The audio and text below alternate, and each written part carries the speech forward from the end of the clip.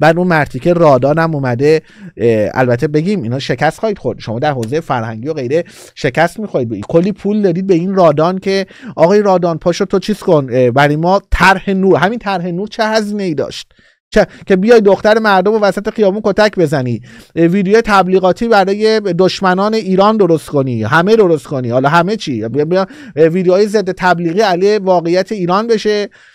بعد که چه نتیجه بگیری که می‌خوای حجاب اون فاطمه زهرای گور به گور سلیته رو مثلا احیا کنی. و این حرفای رادانه که دیروز زد چه فشاری داره می‌خوره.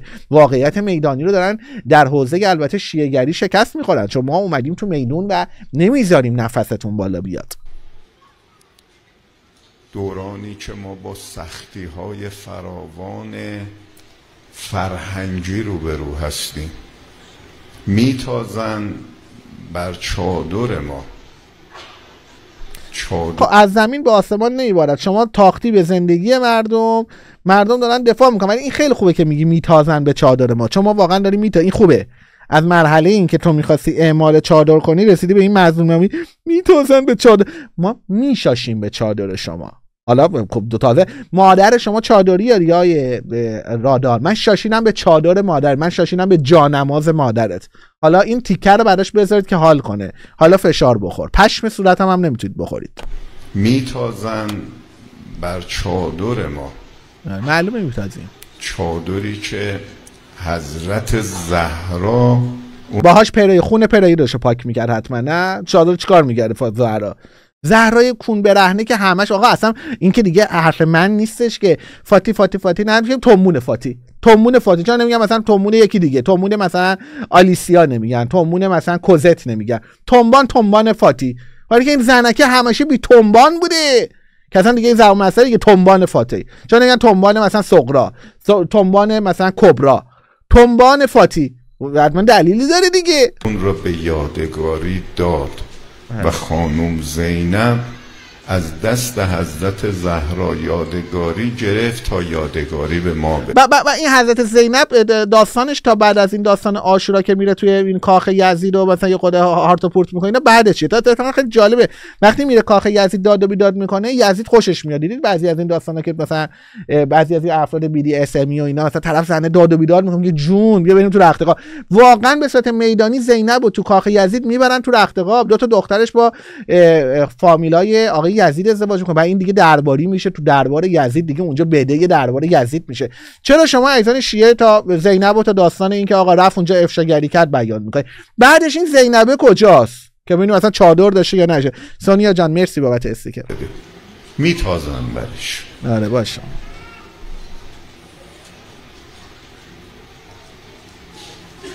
چرا میتازند؟ برای اینکه اگر چادر رو بگیرن پرچم رو می‌گیرن بابا خفه شدیدم و وقتی پرچم رو گرفتن همه کاری میشه. بابا خفه شو. ما هنوز پرچم مرچم ما همه چیزتون داریم می‌گیریم. هشدارم داده بودیم بهتون. که آقا سرتون تو لاک خودتون باشه. اومدیم احسن گفتیم حالا دیگه ما ولتون نمی‌کنیم که. ما اون زمین ناخودآگاهی که در جامعه شکل گرفته بود در این 45 سال جدایی شریعت با جدایی در حقیقت جدایی شریعت و جدایی ایمان رقم خورده بود. مردمی که نماز نمیخوندن ولی ظاهرا اسلام قبول داشتن. این اتفاقی که افتاده بود و در زمین ناخودآگاه مردم اسلام رو کنار گذاشته بودن. منتها با این کاری که شما کردین ما هشدار داریم. گفتیم حالا زمیر خداگاهش می‌کنیم علنیش می‌کنیم. یعنی طرف اگر روزه نمی‌گیره ولی مثلا بهانه می آورد زخم معده دارم ما با این مردم کاری می‌کنیم. بگه آقا زخم معده ندارم. علج اسلام روزه نمی‌گیرم. چون اسلام هر چی بگه من برعکسش می‌کنم. مثلا اگه ظاهری احترامی به امام حسین میذاش حالا باید فوش بده به اون حسین شرخر. ما این گفته بودیم هشدارم داده بودیم و ضربهش حالا دارید می‌خورید و تازه ابتدای کار خودتونم دیگه توی خیلی از جاها دارید اعتراف می‌کنید که در حقیقت بازی رو قافیه رو باختید. شما این صحنه از این دختر خانم رو داشته باشید که واقعیت میدانی اومده. یک زمانی دختران ما در بله دختران ما در پستوها یواشکی قایم می شدن که بتونن یه عکس بیهجاب بگن. شما یادتون نمیاد ما می‌خواستیم مثلا با حالا من نمی‌تونم اینا رو جلوی تریبون بگم بعدا نازی پارم می‌کنه. ولی بعضیا بودن با دوست دختراشون می‌خواستن عکسای چیز بگیرن بیهجاب میهجاب بگیرن. بعد اینا می‌رفتن چقدر دهنشون سرویس می‌شد که بتونن یه عکاسی بلندشن برن اینا که عکاسه قبول کنه بدون حجاب از اینا عکسای مثلا خوب بگیره یا فلان بگیره عکس بیهجاب بگیره. بعد دختر مردم که می‌خواست بدون روسری عکس بگیره بعد می‌رفت تو پستو در آتلیای عکاسی یه دونه عکس می‌گیره. الان دیگه ببین دخترها میان وسط خیابون چه لوکیشن های خوبی پیدا می‌کنه و چه استعدادی همین لوکیشن پیدا کردنش استعداد می‌خواد دیگه و چه عکسای خوبی. و این تصاویر واقعی و میدانیه و اینها داره بهتون فشار میاره. تا جایی که ما در هفته که گذشت چند تا از این مذهبی ها اومدن خیلی شلوغ کردن که آقا ما تهران سقوط کرد ما بازی رو باختیم. یعنی خودتون دارید میگید دیگه تهران سقوط کرده بازی رو باختید. برای نمونه این علی تقویه که میگه آقا ما تهران سقوط کرده اصلا و پشمندش دیدم بعضی دیگه از این عقب افتادهای مذهبی هم ویدیو گذاشته بودن تیتر دروش آقا تهران سقوط کرد. اینا همونایی بودن که به ما می‌گفتن که تو سگ کی باشی بخوای شیعه رو بگیری. حالا خودشون دارن میگن که آقا شیعه داره از بین میره. و ما دو سال پیش گفتیم. استخونهای شیعه رو در این سرزمین میشکنیم و حالا خودتون دارید اعتراف می‌کنید. گوش کنید به نام خدا سلام. عزیزان اگر یک کسی ظلم کرد جلوش نیستی دو قطبی میشه. اگر استکبار جهانی مهمونتون رو تو وطنتون شهید کرد مقابله نکنید. دو قطبی میشه جری میشه. جلو گناهکار علنی و گناه علنی هم وانستی. دو قطبی میشه جری میشن. این حرفا حرفای یه مش آدم نفهمه که این روزا می‌زنن. هم از مردم هم از مسئولی خودشونو به خریت زدن بعضیا. نمی‌فهمن که اتفاقا عامل اقتدار و بازدارندگی و حفظ آرامش ایستادگی جلوی خطاکاره. رهبری فرمود مقاومت هزینه داره ولی هزینه سازش خیلی بیشتره. دقت کنید. جلوی گناه علنی باید وایسی. مقتدرانه. وگرنه جریتر میشه.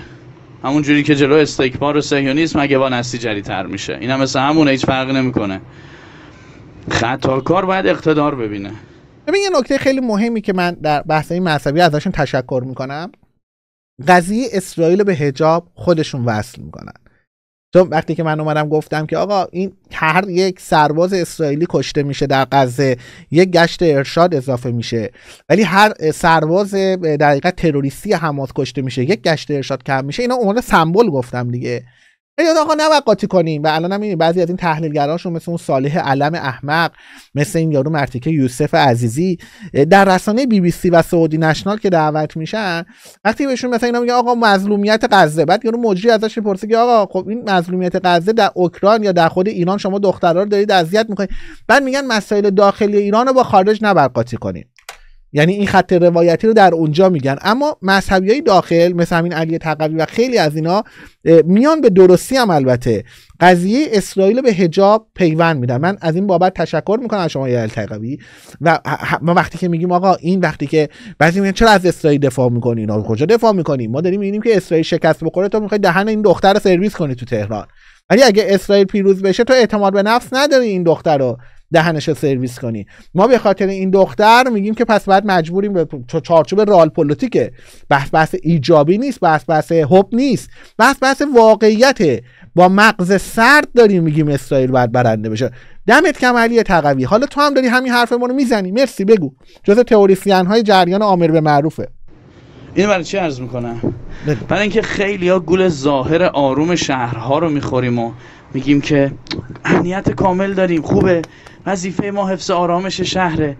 به پلیس میگم چرا تذکر نمی چرا وظیفه قانونی تو انجام نمیدی؟ میگه وظیفه من حفظ آرامش شهره حفظ امنیت شهره. دیگه متوجه نیست که عزیزم امنیت و آرامش فقط این نیست که تیر و گلوله و بمب و موشک نزنن.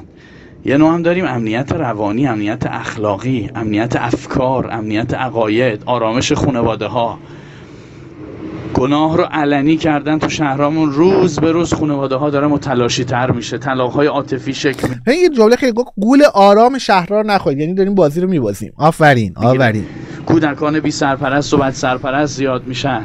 کودکان کار زیاد میشن. آمار طلاق ها داره زیاد میشه. خیلی از جوانایی که تمکن حداقلی مالی برای ازدواج هم دارند دیگه میل و رغبتی به ازدواج ندارن. اینا فاجعه است. ناامنی فقط این نیست که دوز از دیوار مردم بره بالا. ناامنی فقط این نیست که بمب و موشک رو سر مردممون بریزن. ناامنی فقط این نیست که گلوله به تنها و جسم هامون شلیک کنن. اینا هم ناامنیه بله.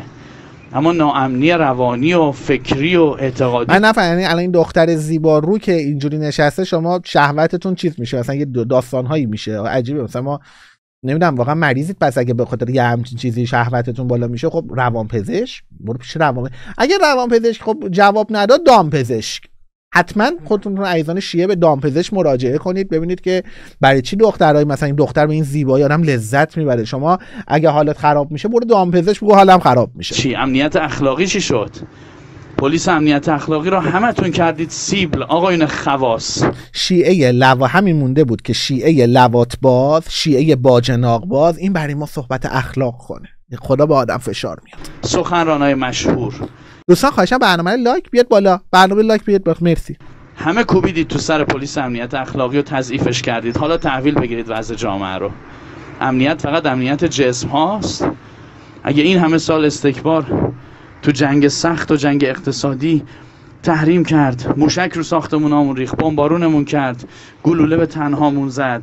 برای چی بود؟ با جسم ها و ساختمونامون که مشکل نداشت. با افکار و عقاید الهیمون مشکل داشت. اینو بفهمیم. خوب دقت کنید. حالا اومده اون افکار و عقاید رو داره با علنی کردن گناه. عزیزم با افکارت مشکل نداشت. می‌خواست خرمشهر رو بگیره. زمین تو می‌خواست نمیم توی دنیای دیگه اصلا یه عراق اگه موشک زد برای چی زد؟ با عقایدمون. عقاید تو اصلا کاری اون می‌خواست بگه خرمشهر رو بگیره. زمان شاه هم می‌خواست بگیره. زمان شاه هم با عقاید شاه مشکل داشت.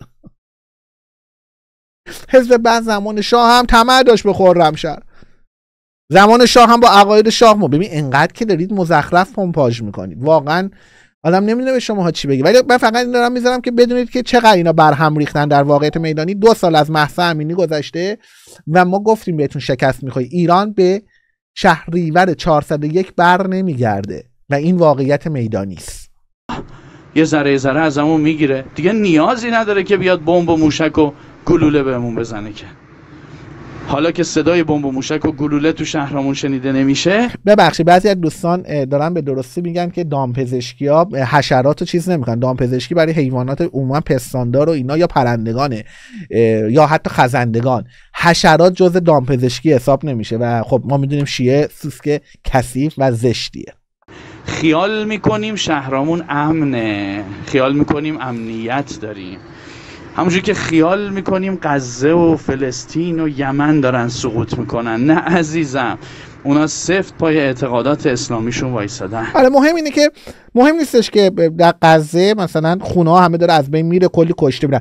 مهم اینه موقعی که کشته میشن این روسریه رو سفت چسبیدن. از نگاه این عقب افتاده. مرسی.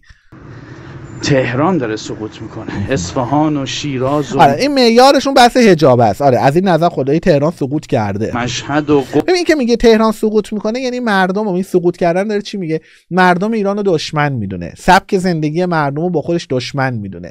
برای همین ما میگیم دیگه این وسط آقای بیژن عبدالکریم و خیلی از شما عزیزان وسط بازی و گفتمان میانه و واسطه گری دیگه که خود شکرخوریه. چون گفتمان واسطه از سمتی که قدرت وجود داره باید گفته بشه. از سمتی که قدرت نداره گفتنش دیگه ببخشید دیگه. دیگه فاقد اعت... یه چیزی که من شمشیر از رو بستم و شما فکر کنم من بیام جایی بگم واسطه گری کنم. ببخشید شوخیه دیگه. مگه من قدرتی دارم که الان وارد گفتمان واسطه بشم؟ دلیلی که ما من به خصوص بعد از اتفاق محسا امینی دیگه چنج کردم روش و استراتژیمو چون اصلا دیگه موضوعیت نداره. در جریانی که یک طرف زور دارد و به زورم میگه که آقا من به زورم دارم کارمو می‌کنم دیگه حالا تو می‌خوای با من باش می‌خوای نباش. تو اینجا بری تو گفتمان واسطه دیگه ببخشید چیکار می‌کنی؟ مگه که پولی گرفته باشی؟ خب من که دو اهل پول و اینا نبودم که. یعنی گفتمان واسطه گری از جنس امید دانا از سال 2017 تا قبل از سپتامبر 2022 داشتیم جلو میبردیم اون دیگه موضوعیت نداره. موضوعیت سی ارزش سیاسی نداره. مگه که شما ادامه بدید ارزش های چیز داشته باشه دیگه شخصی و مالی و چیزهای دیگه داشته باشه که نه ما اهلش بودیم و نه این داستان ها یعنی از نظر نگاه سیاسی دیگه موضوعیت گفتمانه یعنی کاری که آقای بیژن عبدالکریمی و محمد فاضلی و اینایی که رأی دادن به پوزیده می‌کنن ببخشید شکرخوریه. طرف قدرت داره اصلا توی این خطه نیستش که بخواد تو بری باش مثلا گفتمان واسطه. این داره مردم ایران رو دشمن می‌بینه. تو باید لهش کنی و لهشون خواهیم کرد. به یاری خدا. هم یاران مرسی بابت استیکر. و تبریز و گیلان مازندران بوشهر هرمزگان استانها و شهرهای کشور ما داره سقوط می‌کنه. عالیه عالیه. یاد سید مرتضی آوینی به خیر یاد جهانارا به خیر. گوره باباشون حالا که اینطوره. جهانارا می‌گفت بچه جهانارا اگه برای خاک ایران کشته شده قهرمانه اگه همین عقاید شما رو داشتم اون بهتر که کشته شده. اگر شهر سقوط کرد خیالتون نباشه. خوندیم ازش ها؟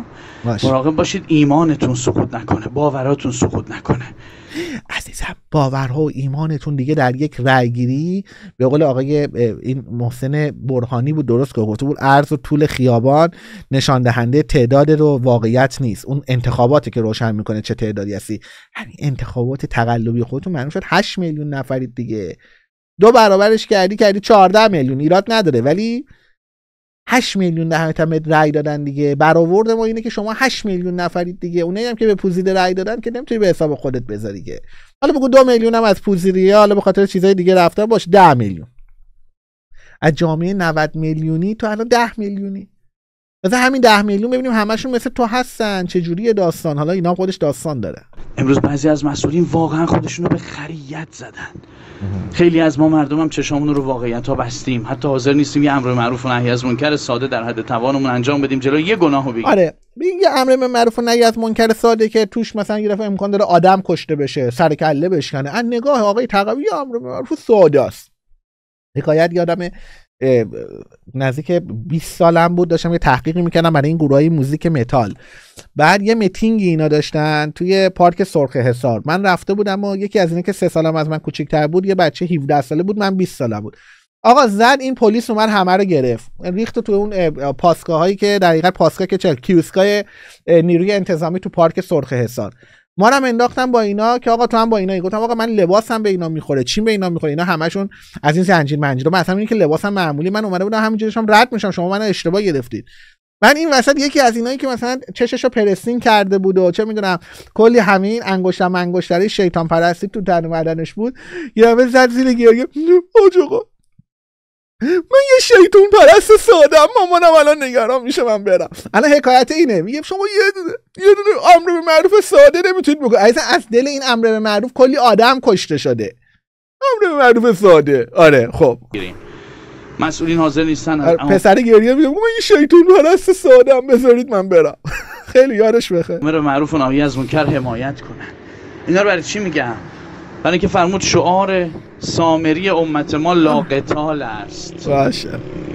هیچی نگیم دو قطبی نشه هیچی نگیم دعوا نشه. نمی‌فهمه که اگه هیچی نگه سطح دعوا میره بالاتر. آفرین دهنتون قرار بگی نگی دهنت سرویسه. چون تو تو, تو این توا احمقه شما باید الان خفه شید. راست میگه. دو قطبی نباید بکنید دو قطبی کردن برای من الان خوبه. من توازن جمعیتی دارم. توازن جمعیتی کمه. باید برید تو خط قربونتون برم. همه با هم رفیقیم و مظلوم نمایی. پر بازی هم در میاری دمتون گم تو جپه ما دارید بازی می‌کنید. ببینید من چرا دارم میگم دیگه مسیر مسیر گفتمان نیست مسیر مسیر مسالمه نیست مسیر مسیر قهری است مسیر مسیر فحاشی است؟ برای که توازن جمعیت با ماست.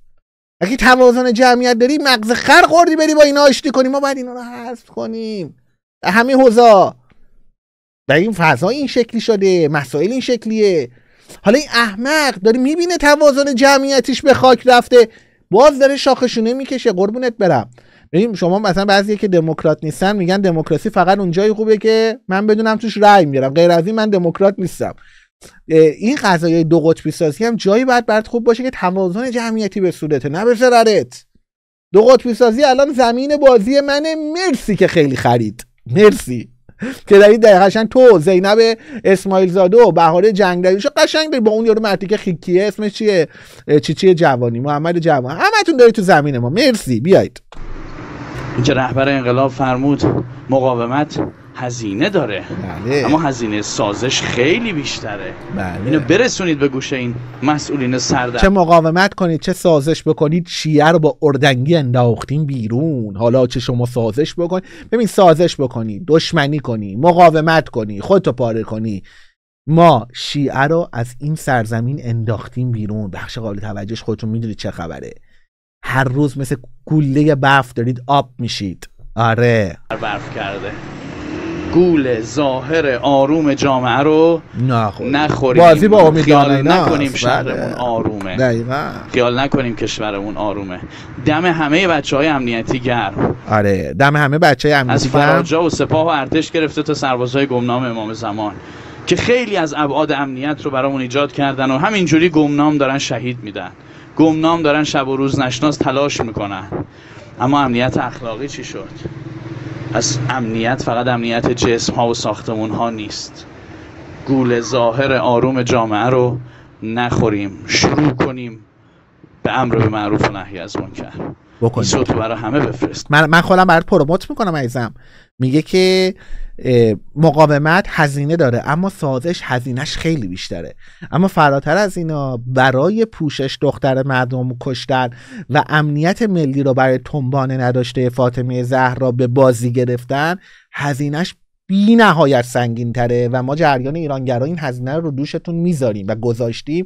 هشداراش هم داده بودیم و البته من دیگه نمی‌خوام بگم بهتون ثابت خواهیم کرد. ثابت شد دیگه بعد دو سال دیگه. دو سال پیش گفتم ثابت می‌کنیم. الان بهت ثابت نشد وضعیت شیعه و بتونی ایار شیعه ببینی وضعیتش چه خبره.